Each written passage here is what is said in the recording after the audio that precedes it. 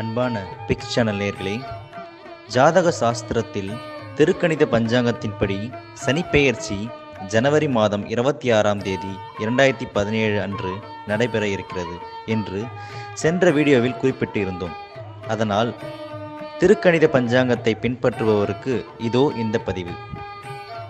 ஆம் நேர்களே நாம் இப்பொழுது சனிப்பெயர்ச்சி இரண்டாயிரத்தி பதினேழு முதல் இரண்டாயிரத்தி இருபது வரை உள்ள பலன்களை பார்க்க இருக்கிறோம். முதலில் சனியை பற்றி பொதுவான தகவலை பார்ப்போம். சனி பகவான் வானுலகில் சூரிய குடும்பத்தில் உள்ள ஒன்பது கோள்களில் ஒன்றாகும். இது ஒரு ராஜ கிரகமாகும் சனி சூரியனுக்கு மகனாவார். சனிக்கு மந்தன் என்ற மற்றொரு பெயரும் உண்டு. காரணம் இவர்தான் ஒன்பது கோள்களிலேயே மிகவும் தாமதமாக சூரியனை சுற்றி வருபவர்.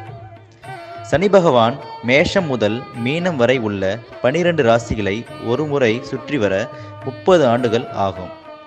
ஒவ்வொரு ராசியை கடக்க இரண்டரை ஆண்டுகள் எடுத்துக்கொள்வார் சனி பகவானுக்கு மகரமும் கும்பமும் சொந்த வீடாகும். மேலும் சனி பகவானுக்கு துலாம் உச்ச வீடாகும் மேஷம் நீச்ச வீடாகும். இப்படிப்பட்ட சனி பகவானுக்கு மூன்று பார்வை உள்ளது.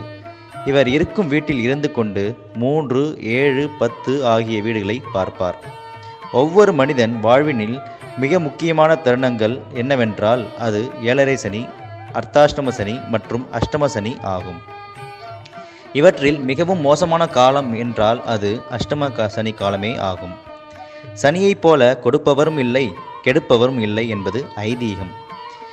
இவர் ஒரு நீதிமான் அதனால் தான் ஒன்பது கோள்களில் இவருக்கு மட்டும் ஈஸ்வரன் பட்டம் உள்ளது. ஆம் எனவேதான் இவர் சனீஸ்வரன் என்று அன்புடன் அழைக்கப்பெறுகிறார். ஒவ்வொரு மனிதனும் தனது வாழ்க்கையில் அடுத்தவருக்கு நல்லது செய்யவில்லை என்றாலும் பரவாயில்லை. கெடுதல் செய்யாமல் இருந்தாலே போதும் சனி பகவானின் பிடியிலிருந்து தப்பித்துக் கொள்ளலாம். எப்படி நம் நாட்டு சட்டத்தை உச்சநீதிமன்ற நீதிபதி பாதுகாக்கிறாரோ அதேபோல் மனித வாழ்வின் சட்டத்தை சனி பகவான் பாதுகாக்கிறார். இவரின் பார்வையில் இருந்து எந்த ஒரு மனிதரும் தப்பிக்கவே முடியாது. இவரை பொறுத்தவரை அனைவரும் சமமே.